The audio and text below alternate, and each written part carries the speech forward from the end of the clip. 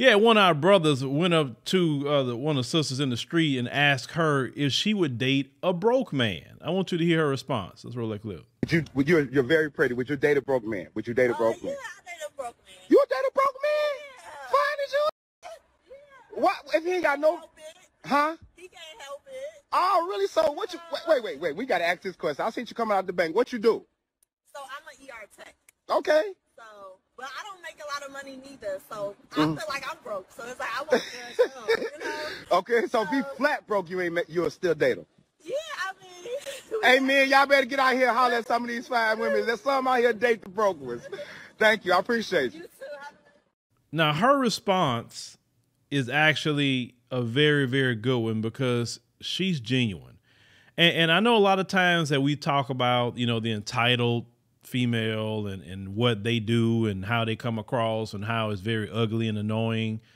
But there are some out there who don't think that way, who think, man, I just want to just want somebody and I, I work with them, I rock with them.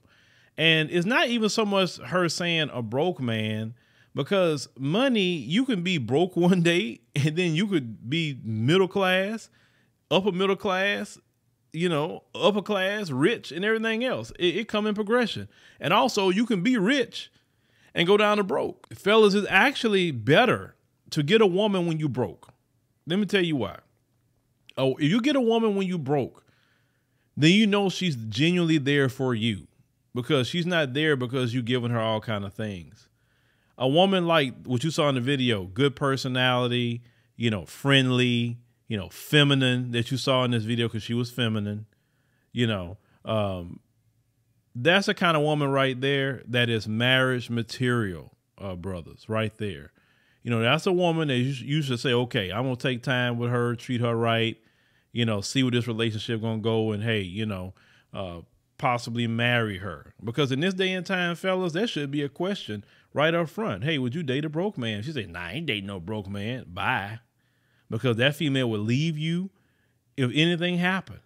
And listen, you know, what if you get sick? What if you get hurt on the job or something, and you down a little bit, and, and the money go down a little bit while you hurt or something? What she gonna leave you? Because that's gonna happen to females that they got their hands out.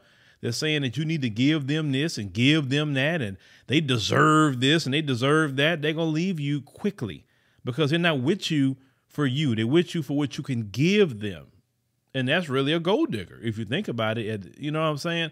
Now, some of them say, "Oh, well, what's wrong with um, you know black women wanting you know men that's uh, make good money? Other women, you know, they want the same things." Let me tell you something. What I've seen with other groups, what I've seen was that they were pretty good a lot of times and peeping brothers when when they was in the process of growing. You understand?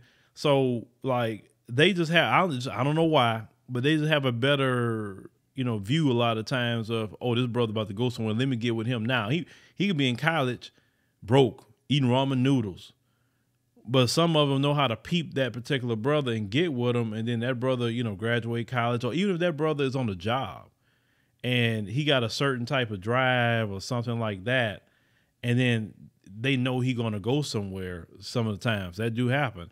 Now, unfortunately, in our community, we always want to see a finished product.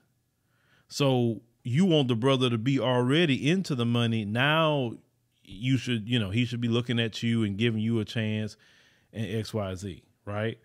And it's usually not like that because if he's already there at that level, that he already kind of made it, you know, and also some of y'all that's out here, you want to try to compete with the top 4% to the top 3%. And what I mean by that is you want, you know, the, the top 4% make between 150,000 and 200,000 and the top 3% makes 200,000 and above. Y'all want preferably the top 3%, right? Uh, of black men, the top 4% for sure.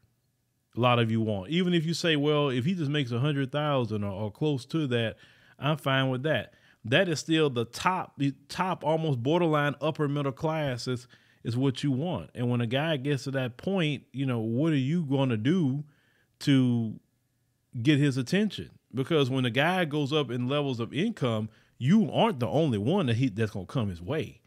because when he have it like that, it's women of all communities gonna come his way. So you're really gonna compete more for him than you would a brother that's average making forty thousand. Because most they say the average amount of money black men make is forty thousand.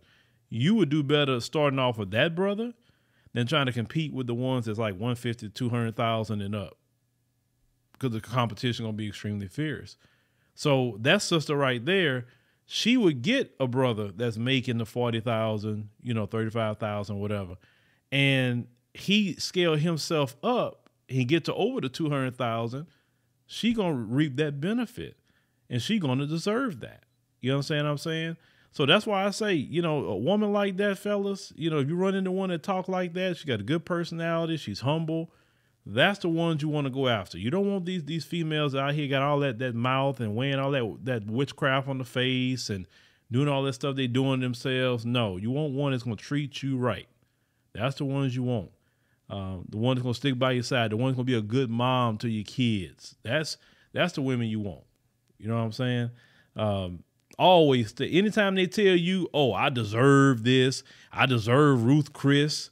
I deserve to be taken here. I deserve to be taken there. You don't deserve crap. You don't deserve what you work for. When it comes to me, no. Uh-uh. Now, who say I would want to take you there? But you're not going to demand it. Let it be out of the goodness of the man's heart, right?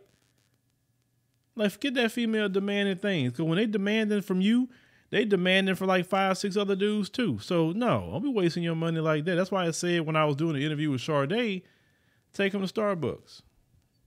And some of them in that comment section say, "I'll with everything he was saying until you said that." Why? Because and would they say, "Oh, because they deserve, they feel like they are a prize." No, no, you're not. Mm-mm. That's arrogance talking. If you say you're a prize, you're arrogant. You're not there to try to build a relationship. You're there to get over. There's nothing wrong with going to the Starbucks or whatever. You're just meeting a person at first. You don't know. Maybe y'all hit it off real good. The next time he gonna want to take you somewhere nice, right? Because he hit it off with you real well. Be humble.